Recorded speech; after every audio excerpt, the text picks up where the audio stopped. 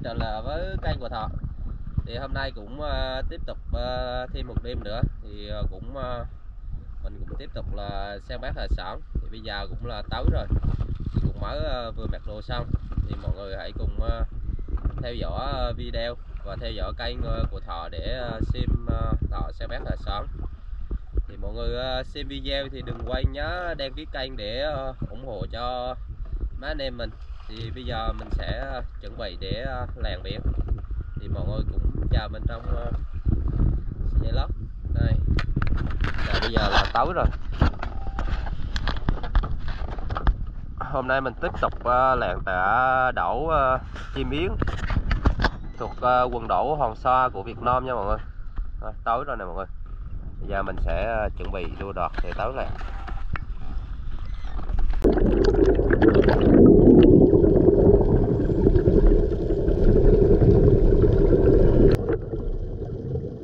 Qua một con à, bạch tuộc bự cho bá luôn mọi người. Con này nó đang ngụy trang. Màu da của nó hệt như à, màu của à, mấy bể cót ngay chỗ nó nằm luôn. Mọi người xem thọ đụng vào nó thì nó sẽ biến màu nè. Con này nằm nặng tầm 5kg đến 6kg Mọi người nhìn vào cái xúc tua của nó kìa. Vừa to mà vừa giờ nữa. Con này rất là mạnh. Thọ cố gắng dùng hết lực để à, đè nó xuống nhưng nó vẫn kéo cái chĩa của Thọ đi được kìa.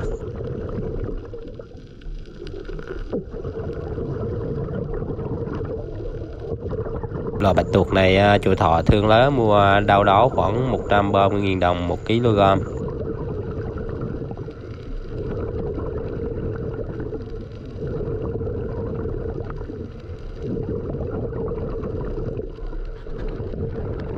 chỗ này ờ, thọ phát hiện hai con bạch tuộc. Hai con này chúng đơn vô pháo nhé mọi người. Cái con bạch tuộc nhỏ hơn, màu đậm hơn là con đực, còn con to hơn là con kế và thọ sẽ bắt con đực, còn con kế thọ sẽ thả nó đi để nó sinh sản. Sợ dĩ ờ, thọ bác con đực vì bạch tuộc là loài động vật. Khi vô pháo xong, là con đực sẽ chết còn con cớ sẽ sống thêm vài tháng để sinh sản rồi chúng cũng chết luôn. Mẫu con à, bạch tuộc à, như vậy chỉ sinh sản một lần trong đời rồi chết. Đi trước khi con của nó ra đời nha mọi người.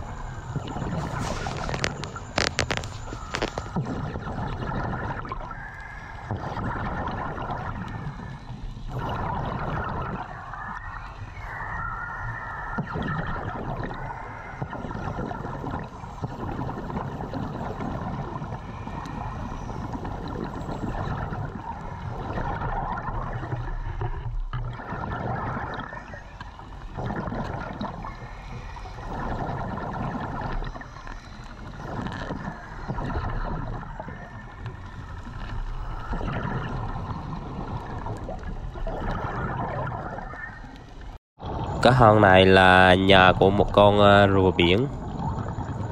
Trong này cũng có ờ, rất nhiều con cá sơn đỏ luôn. Là rùa biển này ờ, hiện đang được bảo tồn nên cấm khai thác và buôn bán. Vì vậy anh em dân biển sẽ không bắt loại này.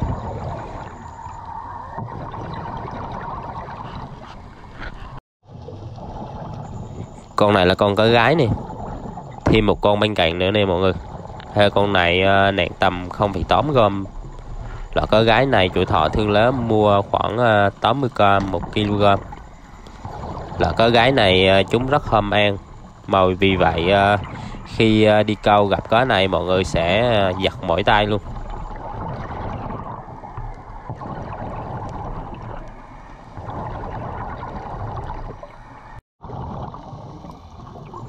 Mọi người nhìn theo hướng ngón tay của thọ đang chảy nè. Có một con bạch tuộc nữa kìa nó ngụy trang nên mọi người không nhìn ra, đúng không?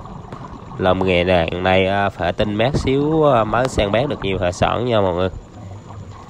Mỗi à, thợ làng khác nhau, sẽ có trình độ khác nhau và tầm mát khác nhau nhé mọi người. Vì vậy sẽ có người bán được nhiều hơn và có người bán được ít hơn.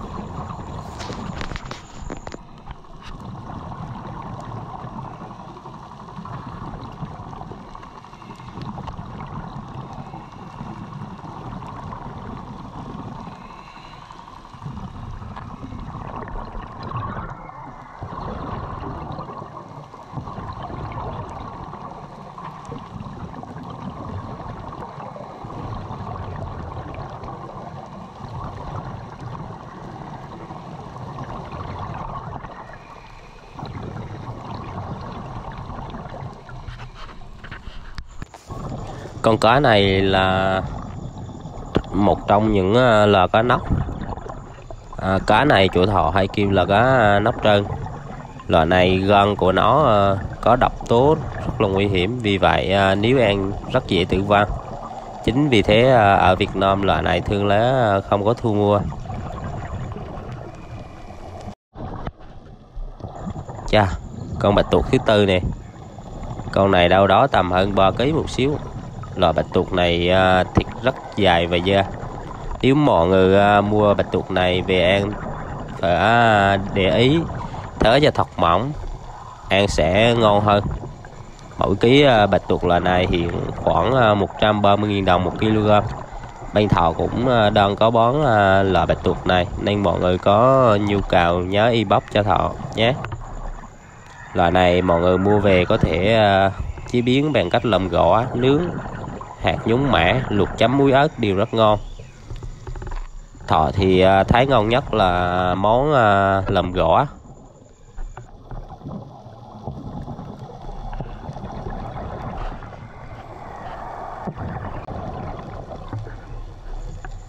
có hơi còn có gái phía trước luôn kìa mọi người. Làng ở quân đổ à, Hoàng Sa thì rất nhiều có gái và bạch tuộc. Nên thọ hay gặp chúng đứng một chỗ, hơi đến ba con thọ phải tách hơi con ra xa xa để chỉ con này. Nó không ờ, con kia nó không bị động và không chạy nha, mọi người.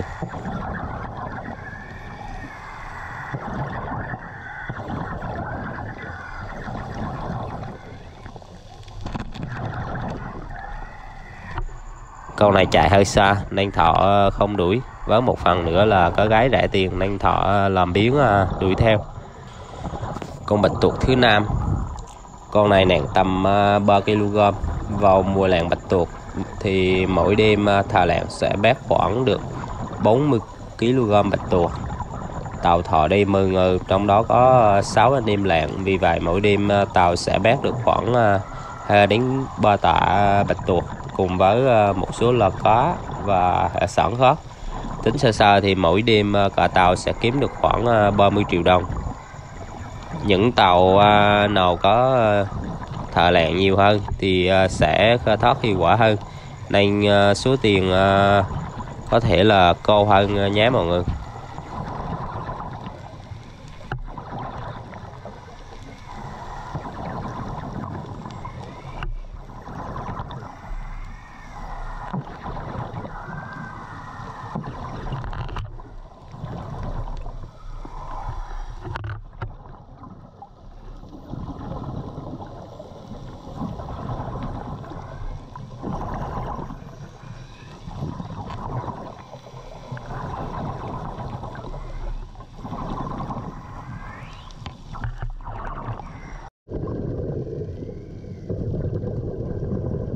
Con ốc bữa này à, chùa thọ gọi là ốc hoa.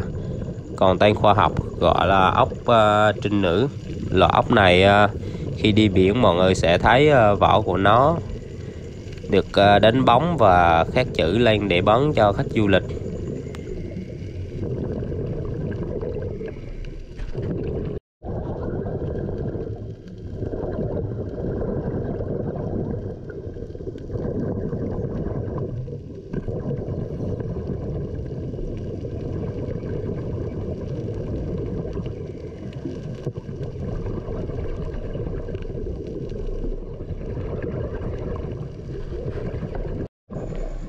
Con này là con cá nóc nhím nè.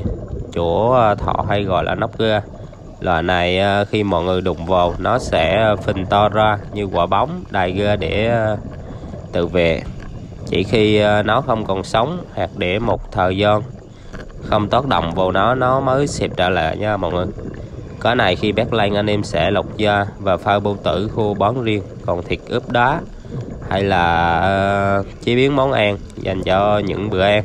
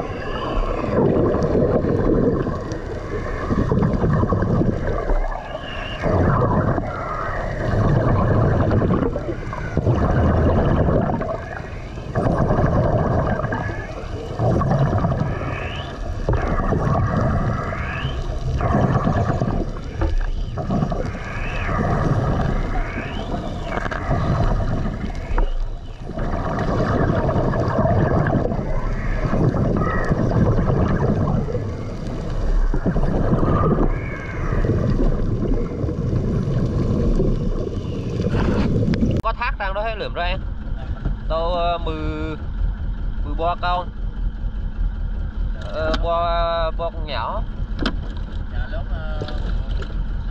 báo giả bác nam con to ba lớn bảy con cạp không đau có được đau được cạp đau được cạp chứ mấy nó gặp nó cạp luôn con mà con có mấy con có thác là nó lượm rồi rồi rồi để em cái cái cái chỗ ốp thì còn mê mê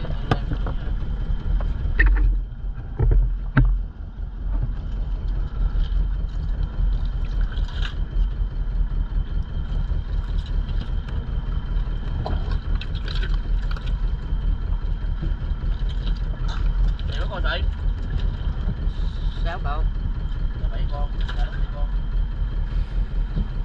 mấy con lớn sao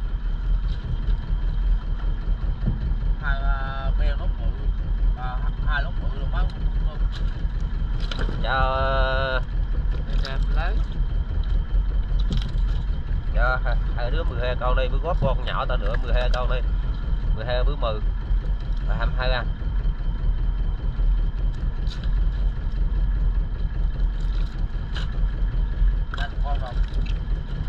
hay bữa 28 nữa. 50 nữa